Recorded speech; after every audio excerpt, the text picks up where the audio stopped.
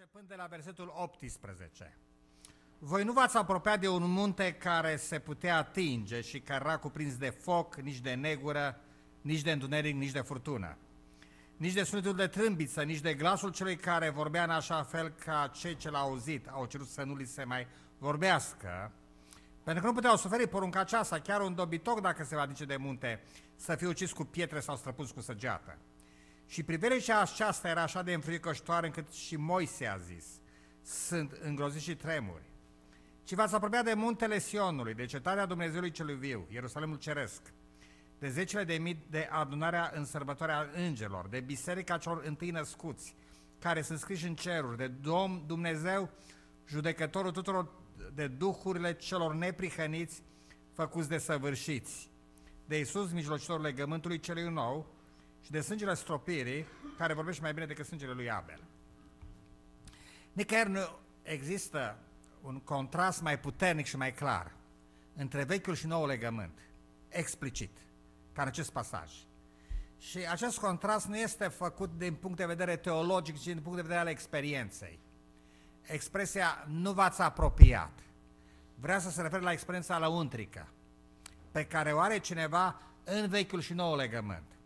Și autorul epistolei către evrei ne arată că experiența vechiului legământ și experiența noului legământ sunt diametral opuse. Uh, noul legământ nu este o continuare a vechiului legământ. Nu este nicio completare. Noul legământ este o anulare a vechiului legământ. Și din punctul de vedere al experienței lăuntrice, este cu totul opus. Uh, aș vrea să dau un exemplu Săptămâna trecută am uh, ascultat un interviu al lui David Tibot, Tiboto, Tiboto cred că îl cheamă, da? Deci unul dintre supraviețuitori de la Waco. Uh, așa și ce mi s-a părut foarte interesant la interviul lui este faptul că a spus că cele 50 de zile de asediu au fost dintre cele mai fericite din viața lui din cauza că a avut adrenalina foarte ridicată.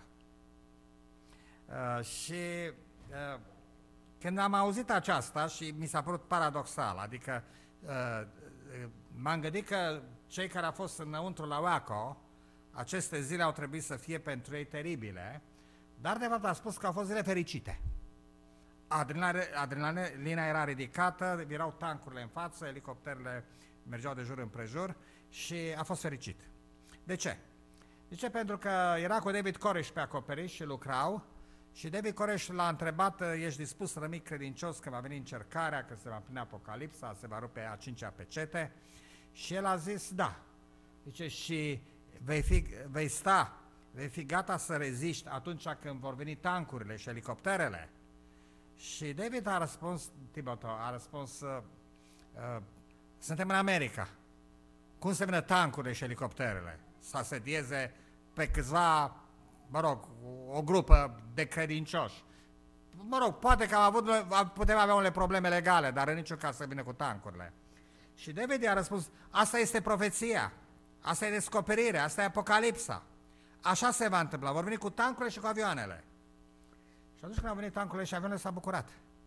A văzut că se împlinește profeția și l-a motivat să rămână. Și nu numai că s-a bucurat, dar a fost un sentiment general, uite că însă și se împlinește. De o viață întreagă aștept să se împlinească, predici, studiezi Biblia, stai acolo și rabzi, fără apă curentă, fără, fără, uh, fără toalete moderne, fără toate accesorile civilizației, te chinuiești acolo.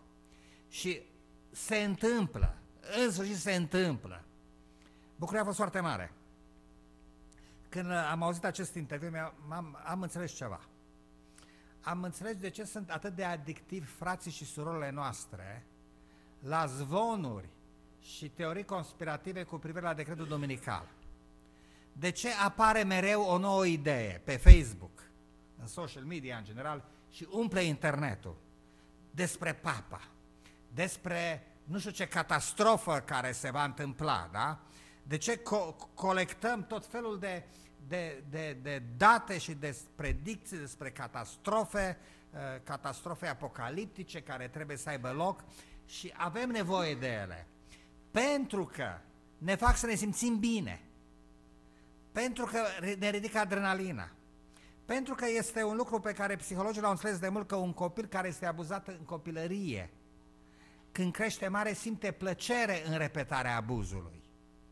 Și dacă în copilărie ne speriau ideile acestea și când auzeam predicate ne speriau și aveam coșmarul noaptea, când am crescut au început să ne placă și trebuie să auzim asemenea lucruri. Uh, imaginați-vă, de exemplu, ce s-ar întâmpla sau ce s-ar fi întâmplat dacă ați avut această experiență. Cândva, să zic, în, uh, dacă sunteți ca adventist de ziua șaptea, la un camp meeting, la o tabără, undeva într-o comunitate adventistă și dintr-o dată vin tancurile și vă înconjoară și elicopterele, uh, cum v-ați simți? Nu ați spune că se numește profeția? N-ați așteptat asta o viață întreagă? Uh, nu, nu aveți simțământul uneori că v-ați trăit credința degeaba pentru că nu se întâmplă? Nu sunteți îngrijorați de faptul că nu suntem persecutați? Că uh, papa nu ține o listă, de, o listă neagră cu o bancă de date cu, cu toți, că nimeni nu-i pasă de noi, că nu se face o conspirație, că nu suntem arestați, nu suntem executați? Uh, nu, nu dovedește cumva asta că nu suntem pe drumul cel bun, ne întrebăm noi? Și atunci simțim măcar nevoia ca să mai citim niște zvonuri pe Facebook, să mai auzim niște, niște teorii conspirative care să ne facă să tremurăm puțin. Și atunci când tremurăm știm că este bine. Însă asta este problema. Asta dovedește că suntem în vechiul legământ. Pentru că ceea ce spune aici autorul epistolei către evrei este că există un contrast între vechiul legământ și noul legământ. Și principalul contrast este nu numai acela că în vechiul legământ a fost muntele Sinai uh, și uh, erau tunetele și fulgerile și trâmbița și frica și amenințarea că cine se va atinge va fi omorât, nu numai asta, dar ne spune epistola către evrei că experiența noastră este opusă, că de fapt noi nu ar trebui niciodată să ne temem. Haideți să citim ce spune, deci în contrast cu experiența muntelui Sinaiului, uh, muntelui Sinai, spune Pavel, ci v-ați apropiat de muntele Sionului, de cetatea Dumnezeului celui viu, Ierusalimul Ceresc, de zecile de mii de adunarea în sărbătoare a îngerilor. Nu e vorba de groază, ci de sărbătoare. Uh, și mai sunt aici câteva aspecte foarte interesante. Deci, în primul rând este aspectul fricii. Uh, Adevărul este că frica este adictivă. De ce le place oamenilor să vadă filme de groază? Pentru că le ridică adrenalina. Uh, știți, uh, am, am auzit toată o glumă pe un forum adventist, o glumă foarte interesantă. Uh, era o caricatură undeva într-un colegiu, uh, un băiat, un tânăr destul de, de punk, îi spune unei fete, noi vedem filme horror, noi avem heavy metal, uh, voi ce aveți? Și fata răspunde, hei, noi avem semnare de apocalips. Sunt mai, mai, mai, mai grozave. Uh, deci există o adicție religioasă față de frică. Există o adicție față de muntele Sinai, Sinai, uh, muntele Sinai. Ne place să ne imaginăm scena când totul tremura, când, când mă rog, muntele era în flăcări și suna trâmbița și tremuram. Ne impresionează acest lucru. Dar epistola către mine ne spune, nu, voi nu ați avut această experiență. Asta e experiența vechiului legământ. Voi v-ați apropiat de adunarea în sărbătoarea îngerilor, de muntele Sionului, de Ierusalimul Ceresc. Voi, re, experiența voastră religioasă nu este marcată de astfel de emoții. Vă pun o întrebare sinceră, da? Vi s-a întâmplat să citiți, nu mă refer doar la Marea Luptă, dar vi s-a întâmplat să vedeți, să de exemplu, să zic, un DVD sau o emisiune pe YouTube cu caracter profetic. Știu că cineva mi-a arătat odată un DVD făcut de Amazing Facts în care erau scenele în timpul celor șapte plăgi și arăta o femeie speriată care se uita la televizor și vedea știrile, se uita pe fereastră, pădea vântul și a avut un mare succes. Nu știu dacă cunoașteți acest DVD, a apărut acum câțiva ani. A avut un mare succes. De ce? Pentru că adevărul este că îl vedem din aceleași motive pentru care alții văd filme horror. Pentru că ne place acest, acest, acest fior de groază și pentru că îi dăm o semnificație religioasă. Pentru că din totdeauna oamenii l-au asociat pe Dumnezeu cu frică. Și ceea ce caracterizează foarte multe religii păgâne este tocmai frica pe care o generează Dumnezeu. Bănuiesc că, fiind în Statele Unite, unii dintre dumneavoastră ați călătorit în Mexic și ați văzut, uh, ați văzut uh, uh, mă rog, temple azdece, poate mai departe, ați fost, ați fost mai departe în America de Sud, poate la un muzeu, este chiar, chiar în Chicago un muzeu despre America de Sud. Dar ați observat cum este zugrăvit, cum sunt zugrăviți zeii de către azdeci, de exemplu și de către mea și de către toți precolumbienii. Sunt niște figuri groaznice. De ce? Pentru că asta îi face pe oameni să se închine lui Dumnezeu și trebuie să recunoaștem că de multe ori când citești Vechiul Testament te, te, te, te înspăimântă un Dumnezeu impredictibil, care, care se supără și se supără foarte tare pentru cele mai triviale lucruri. Și asta face parte din sfințenia lui Dumnezeu. Însă, aș repet, voi nu v-ați apropiat de astfel de Dumnezeu, asta este ideea. Nu v-ați apropiat de, de Sinai, nu v-ați apropiat de... Uh, să ne vedem la conceptul legii. Conceptul legii morale, așa cum o înțelegem noi în nou legământ. Conceptul sabatului, dacă vreți, nu se bazează pe experiența Sinaiului.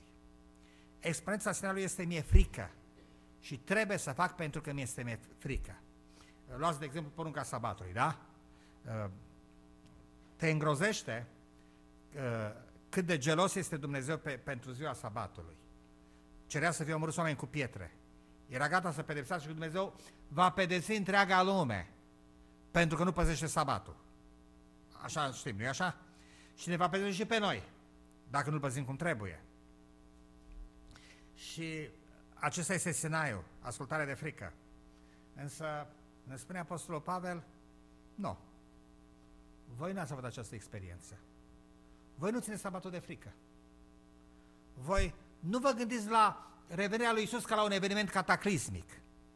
Voi nu aveți, uh, uh, nu porun, păziți poruncile fiindcă vă temeți că vă pedepsește Dumnezeu. Voi să-ți motivați de bucurie.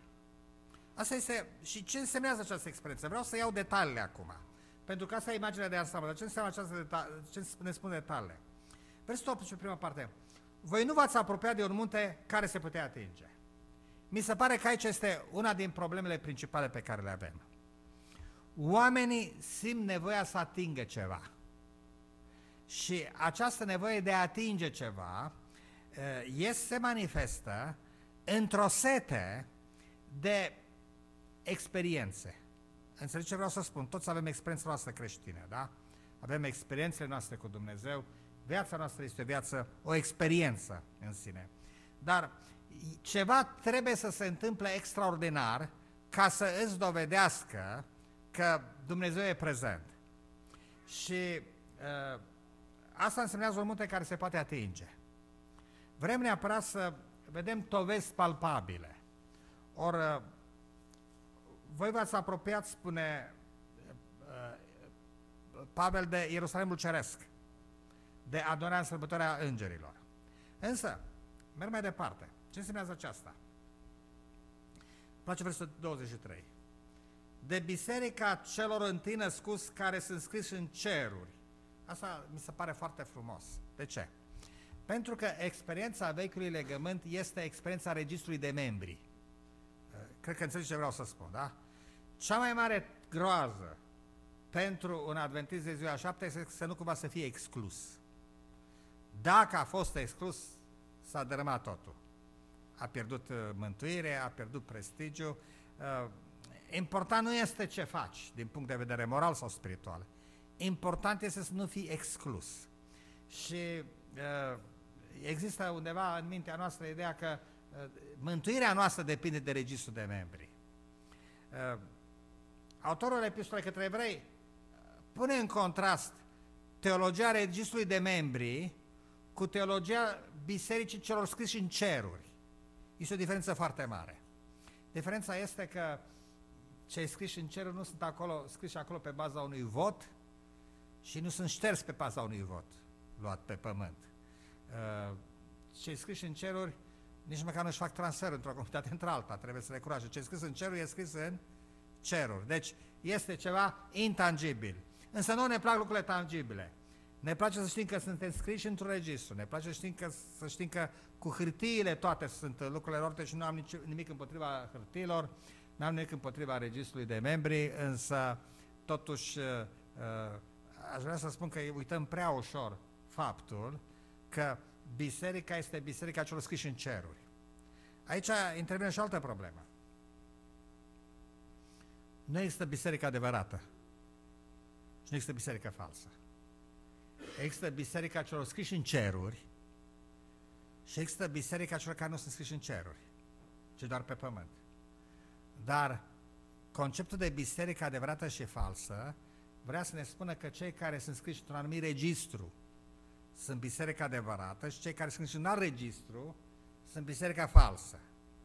Și uh, ca atare, noi suntem biserica adevărată și alții sunt biserica falsă. Uh, am fost odată într-o vizită la un spital în Chicago uh, la o, o prietenă catolică. S-a întors România acum, dacă țineți minte, acum câțiva ani venea la noi o doamnă catolică și uh, m-am dus să fac o vizită la spital. Și când m-am dus la spital, m-am întrebat la recepție cine sunt, de la spital catolic. Sunt pastorul ei. M-a luat gura pe dinainte, nu am gândit bine ce spun. Și și mă rog, mergeți și m-am dus la dânsa în cameră, a fost totul foarte frumos și a intrat un, uh, un uh, nurse acolo și a rugat-o, vă rog frumos, aveți legitimația de catolic la dumneavoastră?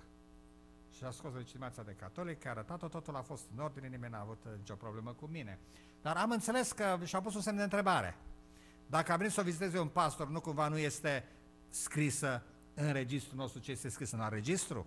Și a vrut să vadă legitimația eh, de catolică. Mă bucur că noi încă nu avem legitimații, probabil că va veni și timpul ăsta, însă ce vreau să spun este faptul că Biserica celor scriși în ceruri este altceva decât organizațiile omenești. Este ceea ce Martin Luther numea Biserica Invizibilă. Și nimeni nu poate pretinde că este în biserica adevărată pe baza faptului că are calitatea de membru într-o anumită biserică. Uh, pentru că biserica adevărată este biserica celor scriși în ceruri. Mai departe, uh, este vorba despre uh,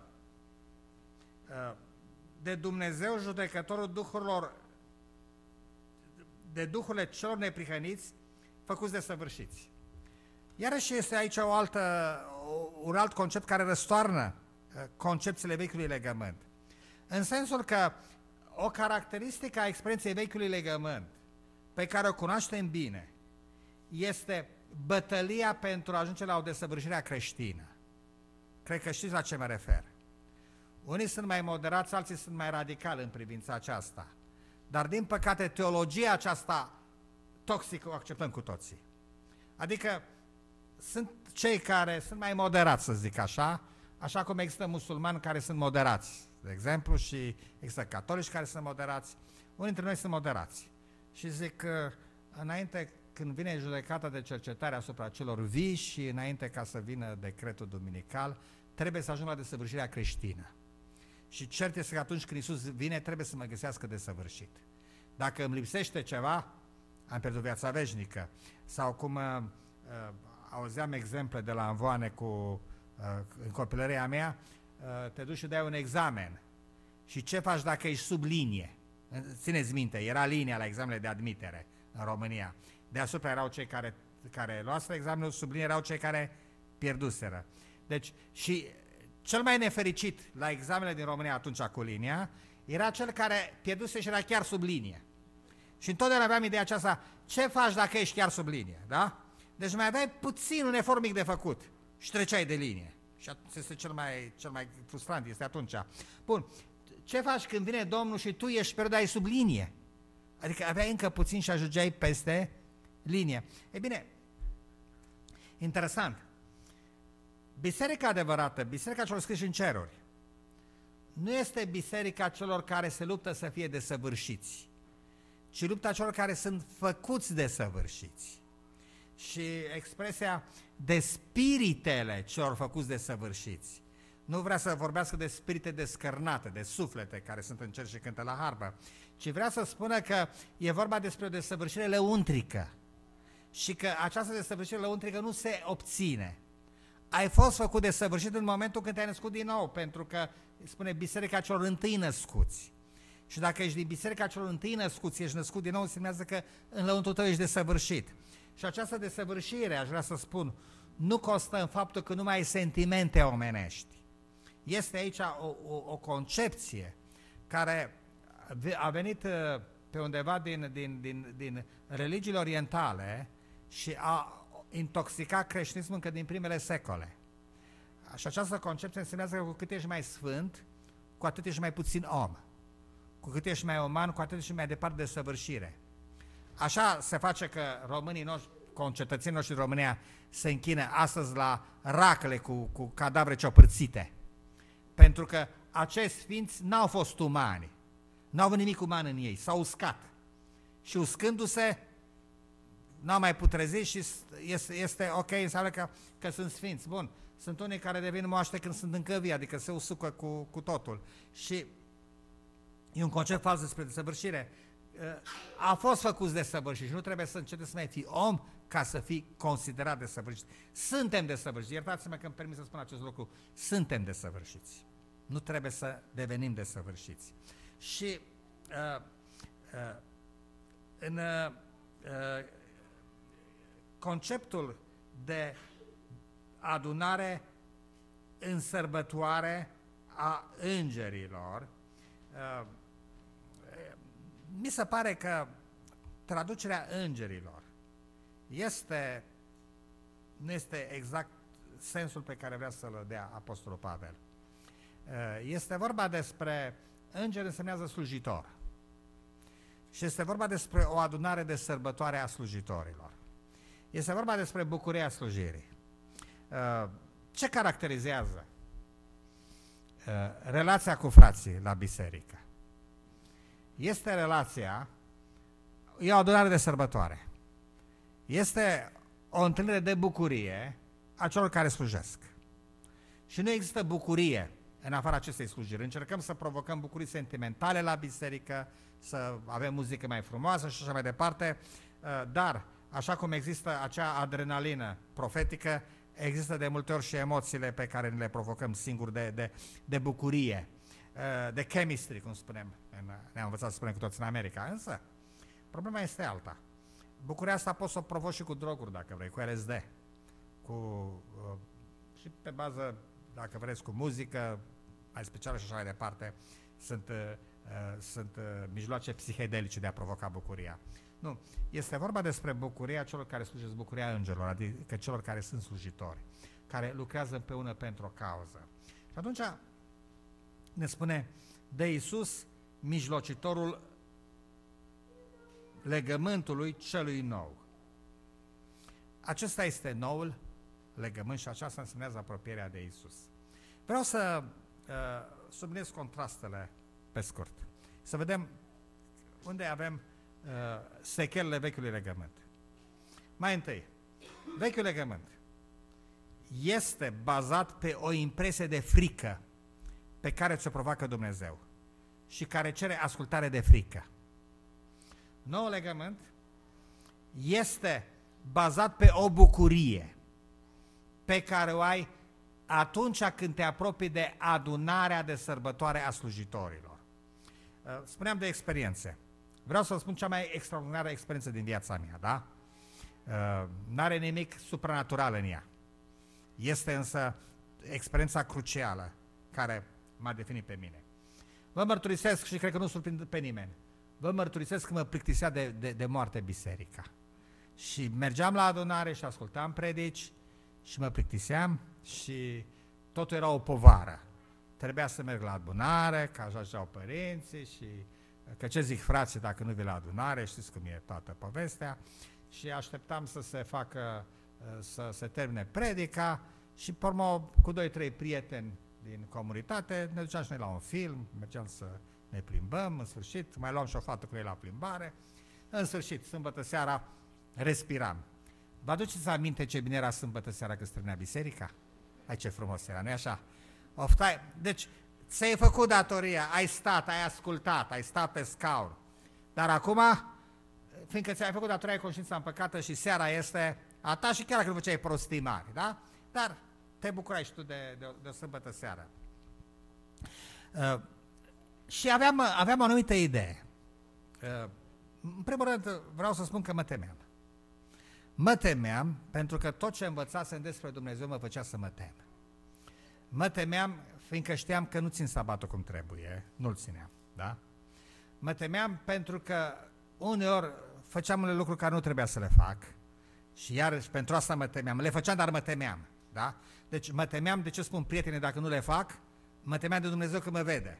Și era, era o, o situație sufletească teribilă, dar mai ales mă temeam că vine sfârșitul. Citisem Marea Luptă, citisem în timpul nostru lumea profețiilor, citisem explicația Apocalipsei și, să vă spun sincer, îmi plăceau. Adică îmi plăcea aspectul de thriller, de adrenalină. Îmi plăcea scena care descria Sora White când citea Marea Luptă, cum va apare curcubeul pe cer, cum va apare legea pe cer, cu sabatul cu litere de foc. Îmi plăcea ideea. Îmi plăcea uh, să-mi imaginez uh, cataclismul. Și era ca un film. Însă, știam că locul meu nu este în Sfânta Cetate, îmi plăcea să citești și cum va veni la sfârșit cetatea, va coborâ pe pământ și va veni satana și îmi plăcea foarte mult, cum spunea în, în, Jean Vuilleme în Cartea Explicației Apocalipsei, când spunea și satana când va învia și Napoleon și Alexandru Macedon și Gingis Han, împreună cu fabricanții de arme ai secolului 20, se vor uni să face Sfânta Cetate și găseam aceste, aceste texte, ca să folosesc un termen cu care suntem familiari acum, fiind foarte cool. Adică scena cu satana care atacă cetatea era cool, dar mai cool mi se părea când cade foc peste el. Însă aspectul neconfortabil știți care era? Nu găseam locul meu în cetate. Îl găseam dincolo de zidul cetății și când mai venea și mama și spunea decât să, să te văd arzând, să stau pe zidul cetății de aur, unde mama avea locul asigurat, nu se doia, decât să stau pe zidul cetății și să te văd arzând în foc cu satana, mai bine să știu mort acum. Numai că dacă muream atunci, dar nicio șansă, știți? Și țin minte când zburam cu avionul, mai zburam cu avionul și în România zburam de la Sibiu, când mergeai spre Cluj, era mai ieftin și mai drum, scurt drumul cu avionul decât cu trenul. Așa că toți preferam avionul când mergeam spre Cluj și când, când mergeam cu avionul aveam, mi-era groază că o să cadă avionul și știam că nu sunt pregătit. Și aș vrea să spun că tot amânam momentul pregătirii. Va veni momentul când și eu voi face niște amendamente în viața mea, da? Și sperând că nu va veni decret duminical prea devreme, speram să am timp să fac acest lucru și l-am amânat pe o dată nedefinită. S-a întâmplat ceva în viața mea, ceva care consider chiar miraculos. În ce s-a întâmplat în viața mea? Am ajuns să descoper o bucurie extraordinară în mijlocul bisericii, în mijlocul fraților și surorilor mele, am făcut prietenii noi, deci prietenii noi care au durat până acum, până la vârsta asta au durat aceste prietenii. Uh, am uh, avut uh, o anumit, am cunoscut, să zic așa, adunarea de sărbătoare a, a îngerilor, dar ce este interesant că această bucurie n-a avut în ea nimic mistic. Realmente am început să simt bucuria de a sluji împreună cu biserica. Deci, pe lângă aspectul banal, banal a unei vizite la, la bolnav, și acum mi-am una dintre momentele cele mai luminoase din viața mea este că împreună cu Elena, când eram proaspăt, eram de curând căsătorit și vreau și noi să facem ceva bun, am descoperit undeva într-o casă din Sibiu, într-o casă din aia din orașul vechi, o casă din acelea vechi cu uh, întunecoase, am găsit o soră de calcifiată. Era ca un ghem de mică, dar îi mergea mintea foarte bine, care de 20 de ani nu mai ieșise din casă. Uh, avea un cărucior, dar nimeni din familia ei n-avea timp să o scoată cu căruciorul. Și uh, am început să o scoate la plimbare și o aduceam în fiecare sabat la biserică, la adunare. Și țin minte bucuria pe care o aveam, îmi pătea inima să-mi pleznească, atunci când intram în, în, în adunare cu, cu acea soră și defilam, la nuntă nu fusesem atât de, de, de, de nu pășisem atât de triumfători, când prima oară împreună cu Elena am adus-o pe sora aceea și am împins-o cu căruciorul în față de tot și parcă fariseul de mine simțea și să și mustre pe celălalt. Zic, uite, ați uitat-o? Zic, eu am adus-o. Însă, o soră a făcut un comentariu. Și ce mi-a zis o soră? Ce? Eu da știu, soția ta a venit din lume. Zic, da. Ce săraca trebuie să aibă multe, să fie avut multe păcate. De ce? Păi încearcă să le spele. Adică aduce. Ăsta e vechiul legământ. Însă, ce aș vrea să spun? Descoperisem nou legământ. Descoperisem nou legământ. Și bucuria mea a fost atât de mare că am decis să merg la seminar. Vă mărturisesc sincer că toată viața m-a îngrosit ideea de a merge la seminar. Tatăl meu vrea să merg la seminar, nu vreau să merg. Nu-mi plăcea ideea să fiu pastor. Nu mi-au plăcut niciodată pastorii, nici acum nu plac. E o problemă de gust, da? Însă, am zis că mă duc la seminar. Și m-am dus cu un bucurești un entuziasm care nu, vi, nu vi-l pot explica, că voi intra în lucrare. Și s-a întâmplat ceva foarte, foarte interesant în seminar. Ce credeți că s-a întâmplat? Am reintrat în vechiul legământ. Și am început să mă răcesc, să-mi pierd entuziasmul și încetul cu încetul, țin minte că eram, cred că în al doilea sau treilea de lucrare. Când mi-am făcut examen de conștiință, m-am, am, am, m-am întrebat ce s-a întâmplat cu mine. Unde s-a dus entuziasmul și bucuria? Totul se răcise, eram în vechiul legământ. Descoperisem adun, ă, adunarea în sărbătoarea Sfinților. Alt aspect. Spune Pavel, un munte care se poate atinge și muntele Sionului care nu se poate atinge. Am observat, sunt în contact cu multă lume pe internet și tot, am tot felul de discuții și am observat ceva. Oamenii au o problemă și mi se pare că e o problemă majoră în biserică. Oamenii cer dovezi, cer dovezi tangibile. Nu pot să accepte faptul că viața de credință poate să se desfășoare în absența unor dovezi tangibile. Deci, trebuie să fie acolo un munte pe care să-l poți atinge. Trebuie să fii un evreu care să vezi Marea Roșie despicându-se, să, ca, să scurgă prepelițele și mana din cer, să vezi muntele uh, Sinai tremurând, uh, să, să vezi cum se crapă pământul și înghite pe unii, să vezi zidul Ierihonului uh, uh, căzând și vreau să vă întreb, și i-a ajutat cu ceva asta? Le-a dat vreo credință? Nu. Uh, și uh, toate aceste narațiuni sunt scrise în Biblie ca să ne arate că dovezile tangibile în ultima instanță nu folosesc la nimica. Ori Pavel spune, voi nu v-ați apropiat de munte care se putea atinge și care vă făcea să vă temeți pe de altă parte, voi v-ați apropiat de Ierusalemul Ceresc, se poate atinge? Nu. Se poate vedea? Nu. Dar l-a văzut cineva? Nu. Îl, uh, știți ce se întâmplă? La data aceasta, Universul este cunoscut atât de bine, ne cunoaștem Universul atât de bine, ca structură, ca structură uh, fizică și chimică, uh, pe lângă că îl vedem cu telescopul, îl înțelegem atât de bine pe bază naturii, încât putem spune că dacă cineva îmi spune că există undeva în Orion, să zic, sau undeva în univers, uh, o cetate sau un cer, pot să spun că nu este adevărat. Și asta nu înseamnă că sunt ateu sau necredincios. Existența e mult mai complicată decât un universul nostru, probabil, nu știu ce, nu știu ce altceva există, câte universuri și așa mai departe, dar vreau să spun că nu simt nevoia să-l văd și să știu unde este. Cum, cum unii vor neapărat să creadă că este în Orion. Nu e nimic în Orion, este doar o nebuloasă și atâta tot, oricât l-ați căuta. Nu am nevoie de acele dovezi tangibile, nu pentru că cred în mod absurd, împotriva logicii și a rațiunii, pentru că înțeleg că credința implică o experiență total diferită de cea de a pipăi ceva. Adunarea de sărbătoare este în cer, biserica este scrisă în cer, uh, Sionul este scris în, este în cer, Ierusalimul este în cer, da? Ce însemnează în cer? Însemnează dincolo de experiența noastră, dincolo de capacitatea noastră de înțelegere.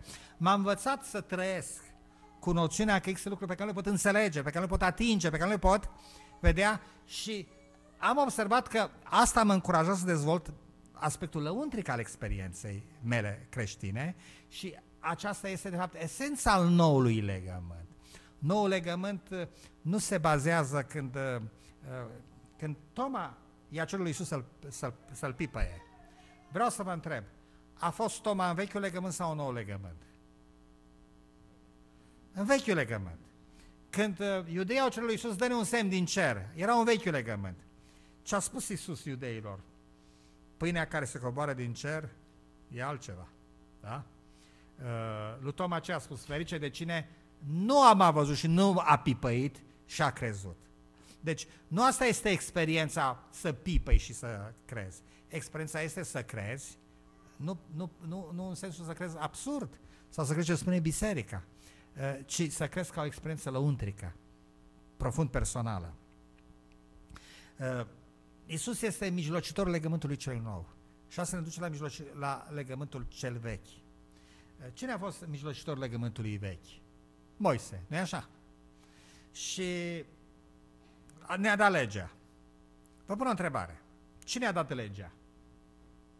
Conform epistolei către evrei. Acum e, e o întrebare cheie, să văd ce cunoștință de Biblie aveți.